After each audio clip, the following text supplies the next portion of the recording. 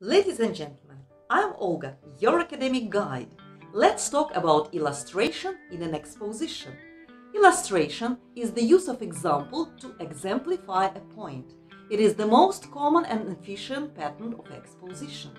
Good examples help to clarify a writer's thought by making the general specific and the abstract concrete. They also add interest and help to persuade or convince the reader.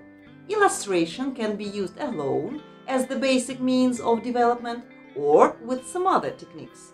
A successful illustration paper depends on a wise selection of sufficient examples, which are specific and typical, interesting and relevant. The examples may be either personal experiences or second-hand information from reliable sources. An expert arrangement of these examples will also contribute to the effective exposition.